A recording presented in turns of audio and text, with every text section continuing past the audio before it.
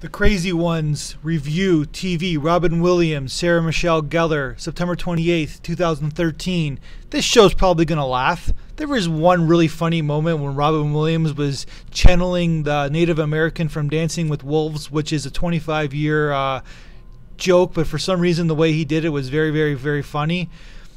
Uh, it's interesting to see Bob Benson from Mad Men, who is one of the, I guess, the third third lead on this show, playing another advertising executive.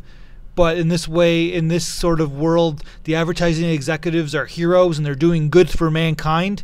And uh, so Bob Benson playing advertising executive on Mad Men, who's really not Ben Bob Benson, but is the new upcoming Don Draper in many ways, the secret identity, whatnot.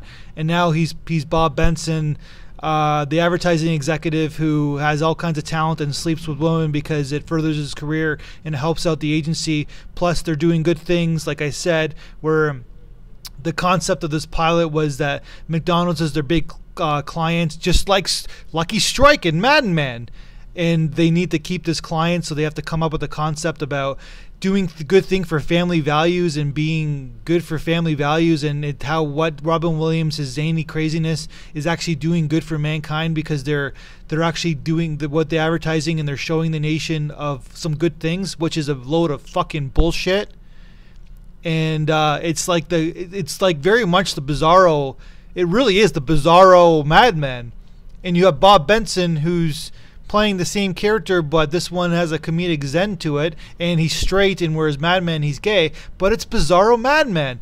You got you got Robin Williams who can't stop talking. You got Don Draper who really doesn't like to talk. You got Peggy Olson who is like idealistic and, and wants to search for the, the the moral soul of humanity. Then you got Sarah Michelle Gellar who who is whatever. She just seems to be doing a, a lot of like, uh, do I love my father or not love my father, which is a cliche in comedy terms. But you know what? The show's gonna last because Robin Williams is gonna have a lot of freedom to do his zany acts, and it's just interesting to have the, him kind of the tail end of his career back on television. I, I heard he needs the money, that's why he's doing it, and. Uh, but let's let's lay low on the advertising is good concept and little jingles and like doing a McDonald's jingles jingles about hamburgers and family is is good for the for the for the United States.